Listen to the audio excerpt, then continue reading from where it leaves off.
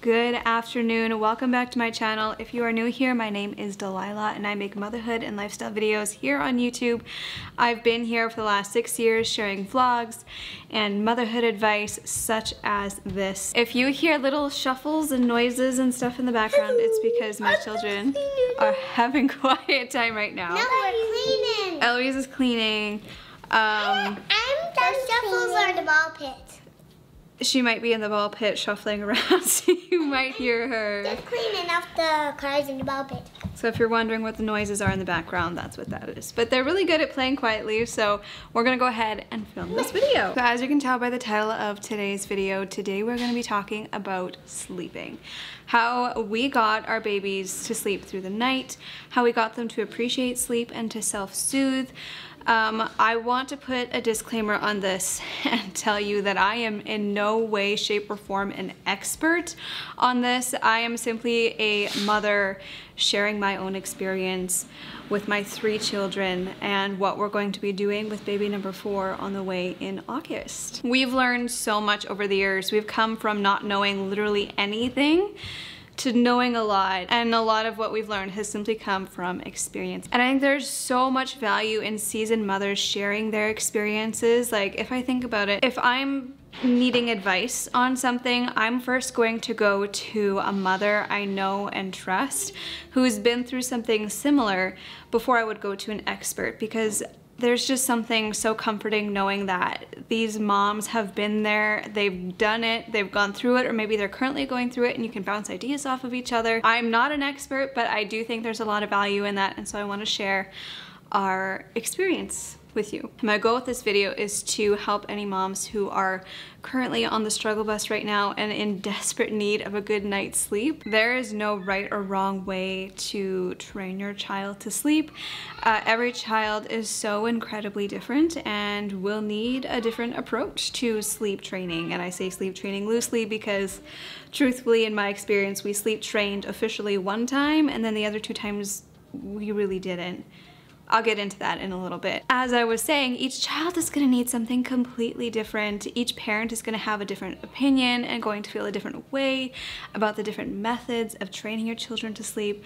And so there's there's no like handwritten book of like this is what you should be doing. We've taken a different approach with each child and we've learned so much through those experiences. This is something I get comments on and DMs on and emails on all the time and so now that my youngest son is officially sleeping through the night, this felt like the perfect time to sit down and pass on some of my wisdom to you. So I think the best way for me to approach this video is to start by sharing my experience with each child um, and going through the situation we were in at the time, how we approached those situations, and how we trained our children to sleep. And then at the end, I'm going to go over like the the four or five basic main points that I really want to get across, my main tips and advice.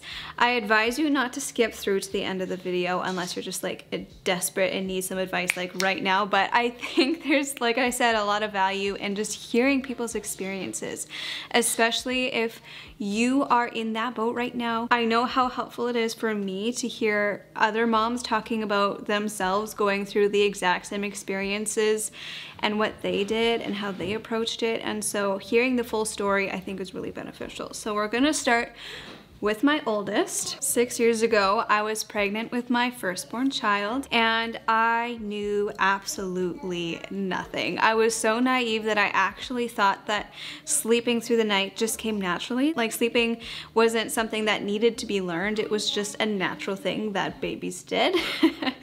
Boy, was I wrong. Because she was my first, I was able to do everything on demand with her and that's really all I knew. We did everything on demand day and night.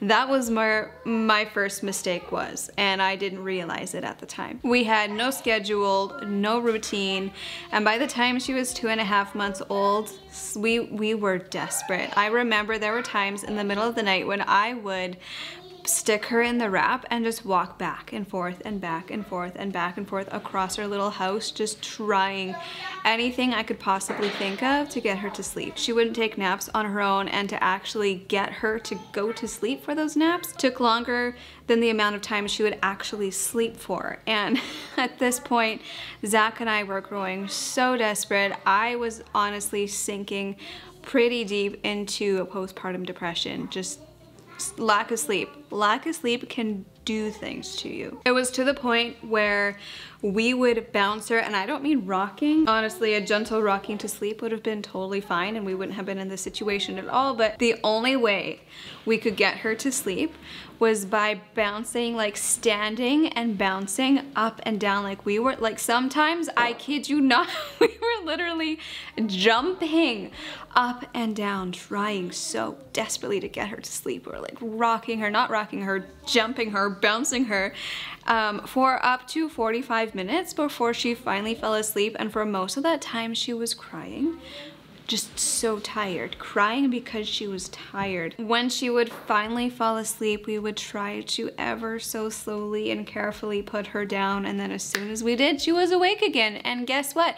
We had to start that whole process over again. And you can imagine it wasn't very fun and we were growing desperate. And so I did a lot of research and uh, finally decided to try the controlled cry it out method. Now, when people hear cry it out, some people get really uptight and angry about this. Uh, some moms are totally for this. There are very divided opinions on the controlled or cried out method. Now listen, I don't want to hear any judgmental opinions in the comments either directed toward me or to any other moms. The comment section should be a place where we go to support one another and to share helpful advice and to not be judging others. So please, if you have a nasty opinion on something, don't say it. It's gonna get deleted uh, because this is not the place for that. This video is to offer encouragement and to uplift and to help other moms, not, not to bring them down. At this point, I figured she was crying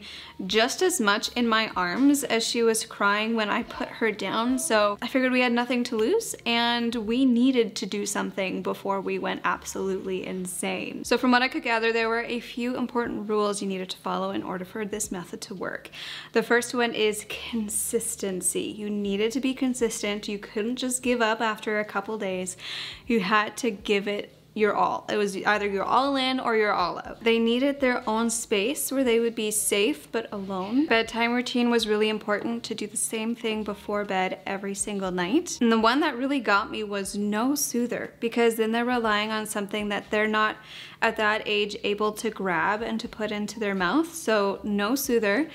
Uh, they had to learn to self-soothe without that. And if they were to wake up in the middle of the night, to give them a good like 10 minutes before going in there to soothe them. Because oftentimes baby will come out of their sleep cycle and they'll wiggle around and they might cry or make noises, but I was surprised by how often after about nine or 10 minutes, they would soothe themselves back to sleep all on their own. So as long as we gave them that time, they were able to figure it out. So basically how it worked is we would do the whole bedtime routine, we'd get her sleepy. The big thing was to put her down drowsy but not asleep. So get her sleepy but don't let her fall asleep in your arms or don't let them fall asleep while they're nursing. Put them down before they fall asleep and then they have to learn how to do the rest. So put them down lovingly, just, you know, kiss them goodnight and walk out the door. If they cry, uh, go in after five minutes, try to soothe them. I think with this particular method, we weren't supposed to pick them up to soothe them. We were supposed to leave them in their crib. And then if they continued crying, wait another 10 minutes and then go in and soothe them. And if they continued crying more, go in after 15 minutes. And then after that, it was every 15 minutes until they fell asleep. And then if they woke up in the middle of the night, like I said, to wait the 10 minutes. Um, and then if they continue crying, to do the whole process all over again. And the same thing went for naps as well. That's the gist of the controlled cry it out method that we use with her. And over time, we did modify it a little bit to what we felt was best for her. But I could not believe how well this worked. Even that first night, she was sleeping so much better and it just continued to improve with each night that followed. Our parents were shocked. They couldn't believe it. Like it was incredible. To this day, she is still our best sleeper and honestly, it was one of the best things that we ever did for her. She wasn't officially sleeping through the night until she was about one year old. She just wanted to nurse like once or twice in the middle of the night.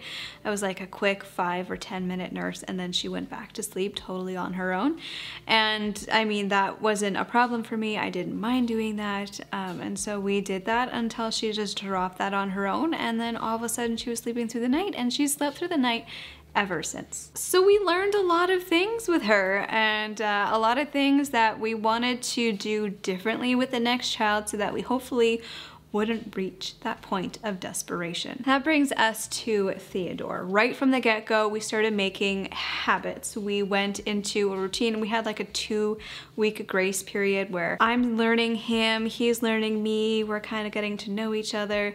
Um, and then after that, like newborn bliss kind of wore off, we got into a loose routine, um, not a schedule, but a routine. So we, we did the eat, play, sleep routine. So he would sleep, when he woke up, that's when he ate and then he played and then he went to sleep. When he woke up, that's when he played and he went to sleep. And it was the same thing every day. I would cuddle him to sleep sometimes and we did some contact naps and I would nurse him to sleep, especially in those early newborn days when they're so sleepy. But we also really wanted to start getting him into the practice and the habit of soothing himself to sleep. So a lot of the time I would get him all swaddled up and cozy and set him down when he was sleepy but not sleeping. Being consistent with that habit I think really, really helped us um, as as time went on. And I was also very aware of what kind of sleeping habits I wanted him to have.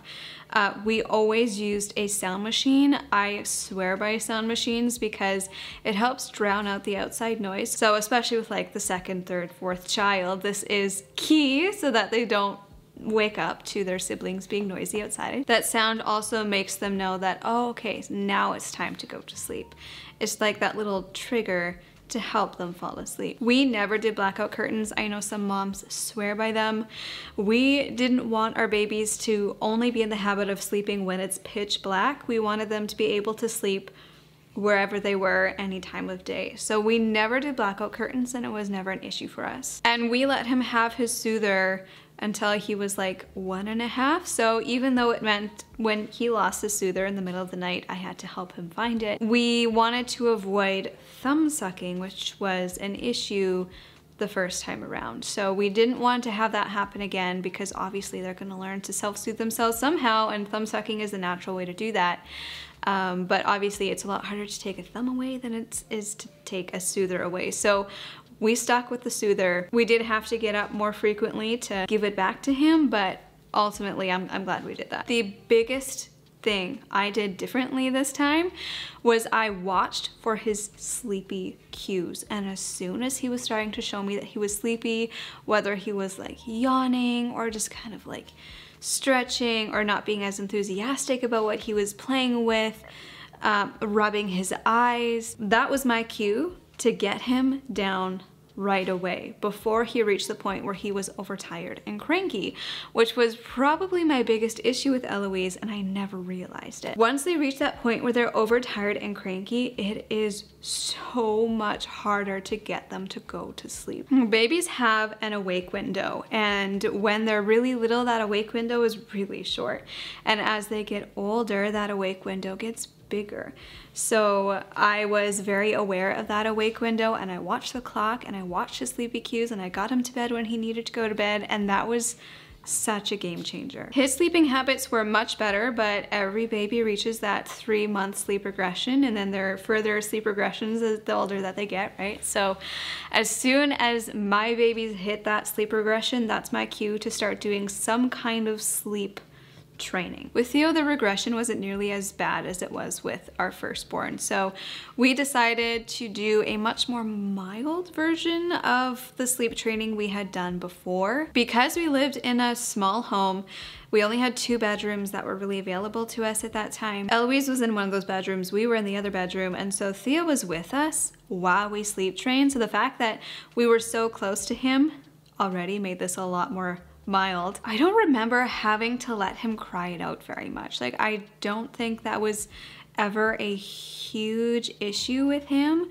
The biggest thing was the wake ups in the middle of the night. And when they are so close to you, when they're in the same room as you, it's really hard not to uh, wake up and tend to them as soon as they start like wiggling and squirming and crying in the middle of the night. At about six months, he was really outgrowing his bassinet, and so he moved into or the room with Eloise and um, because they were sharing a room when he'd wake up in the middle of the night I obviously didn't want to disturb Eloise I didn't want him to wake up Eloise so I would go in there bring him to our bedroom uh, and nurse him and then I found myself very often just falling asleep nursing him and then he'd fall asleep and we'd fall asleep together and we'd end up cuddling until morning which I honestly loved. Theo and I did a lot of co-sleeping and those are some of my most cherished memories. It is something that every sleep expert is going to tell you not to do, but I wouldn't take it back for a second. Again, I know co-sleeping is one of those touchy subjects. Some moms are very much against it. Some moms are totally for it. It's not gonna work for everyone or for every baby, but for us in that moment, that was exactly what we needed and it was great. So already you can see a massive difference between our first and our second just because of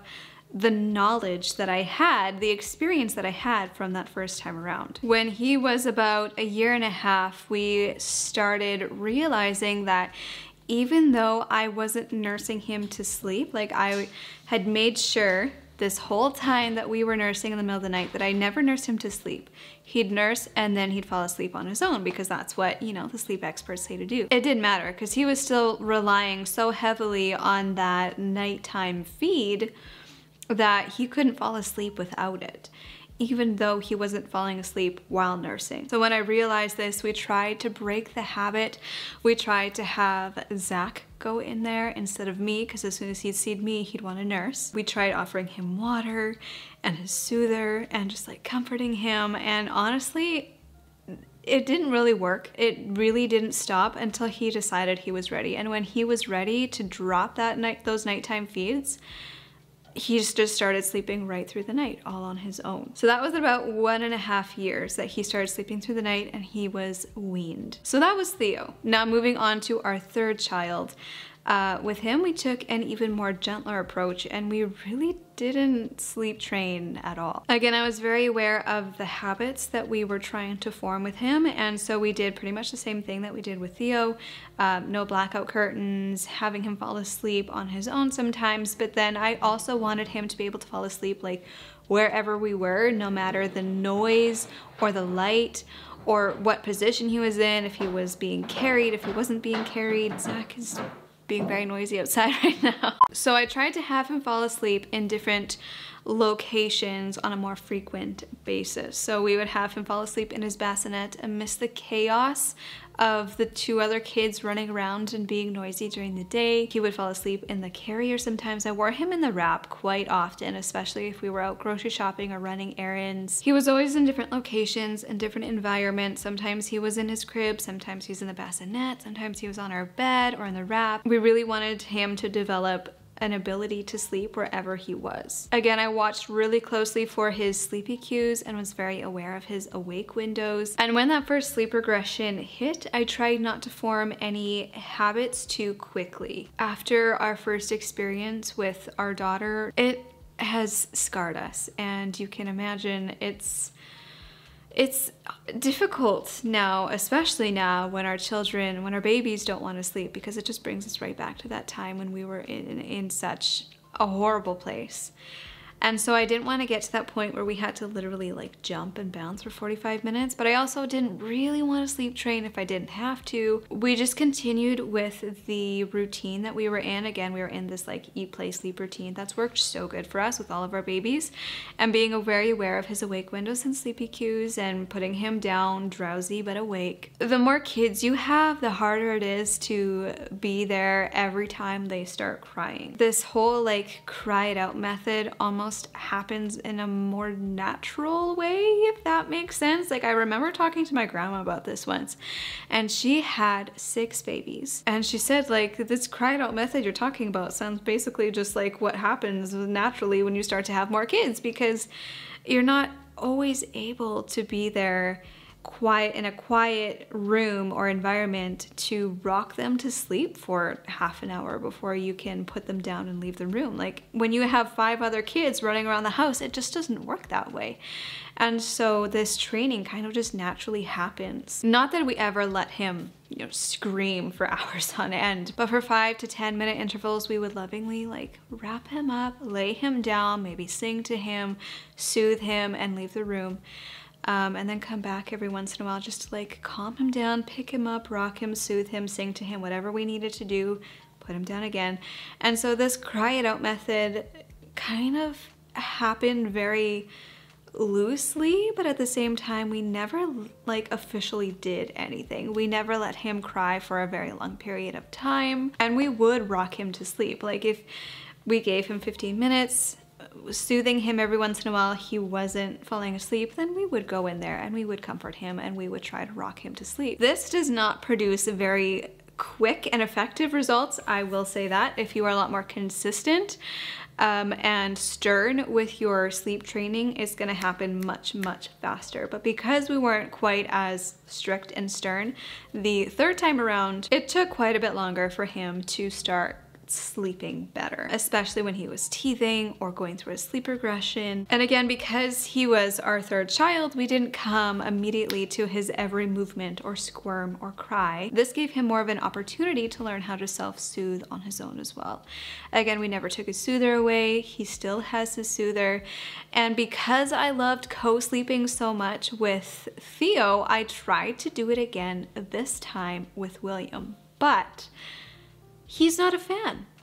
He really didn't like co-sleeping. He much preferred his own space. For some reason, I just thought all babies naturally love to sleep together and co-sleep and cuddle, but that's just not the case. And so for him, he really just wanted his space. And so when he moved into his crib, he slept really well, but he would wake up every once in a while. And so I would bring him into our bed and, and nurse him and he, again, relied very heavily on nursing just like Theo did. Now we could go through the whole cry it out method and try to cut that habit, but I honestly, again, I don't mind. The sleep experts will say that's not a good habit to have. It works for us.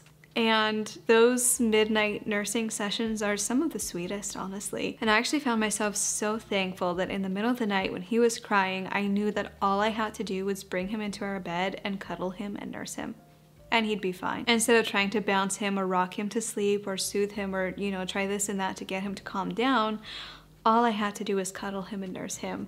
And that was a really nice thought. So whenever he would be teething or sick or going through a leap or something, he would nurse more frequently throughout the night. So there'd be more middle of the night wake ups. But on good nights, he would only be waking up like once in the middle of the night. Now recently he's decided he's done nursing altogether. So we have officially weaned he took the lead on that. He decided he was done. And when he decided he was done, those middle of the night wake ups stopped. For the last like three weeks, I would say he has not been waking up in the middle of the night. That's another sweet thing about uh, nursing at night is that when they're done nursing, they usually, in, in my experience, start sleeping through the night. So it kind of goes hand in hand. So all my babies were officially sleeping through the night between one year and one and a half years. With all those different approaches, we still reached the same goal around the same time.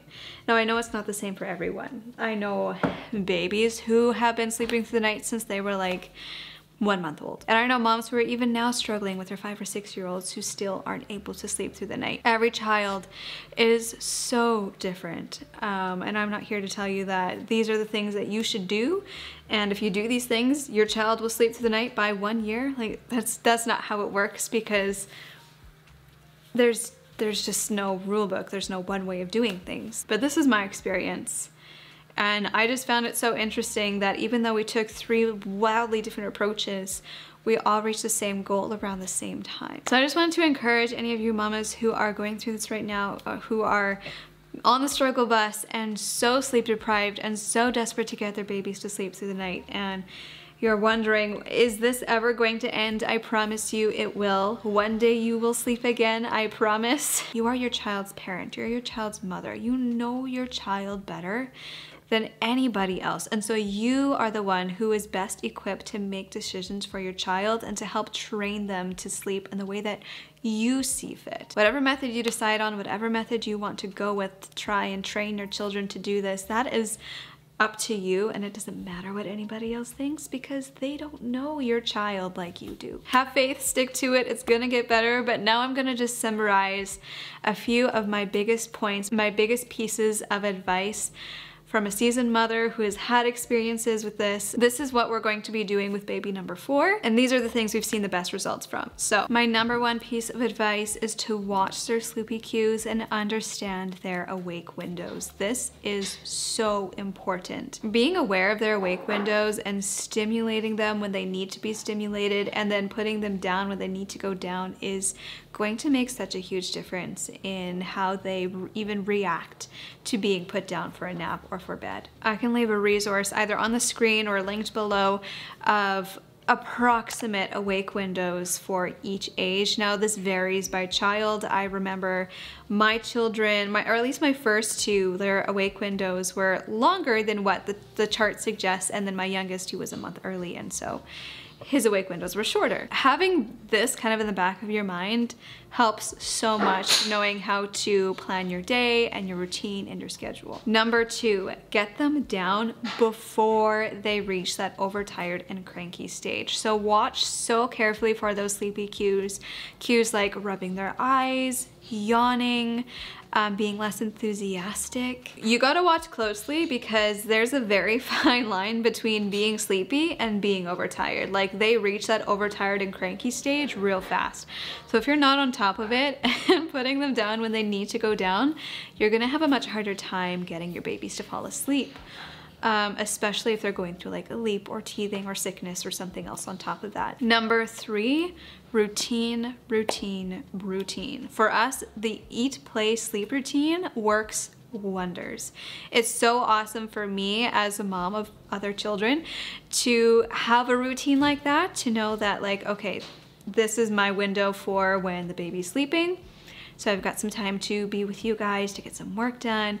Um, and then when, when the baby wakes up, I need to go nurse the baby and then we can play together. And then when they're tired, I can put the baby down and we can play again. Like to be able to plan out your day like that is huge uh, for the baby and for you. I find that my babies really thrive on routine. And so that is huge piece of advice. Number four, help your baby develop habits that you want them to have. So for us, like I've mentioned, we use the sound machine um, to help drown out outside noise. That's something I uh, hugely recommend. We also really try to get them to sleep without the blackout curtains and in different environments with different noises and obviously putting them down drowsy but awake so that they can learn to self-soothe on their own is huge. And number five, do what is best for you and your baby. Not what is best for somebody else, not what somebody else thinks is best for you and your baby, but what you know is best for you and your baby. Because like I said,